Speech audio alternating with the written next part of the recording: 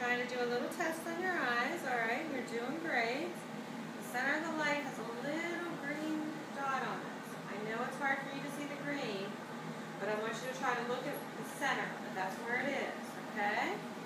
Stare at the center of the light. It's blinking on and off. It's probably a little bit annoying, but I want you to try to stare at the center of the light, okay? You're doing great, buddy. We have your left eye covered.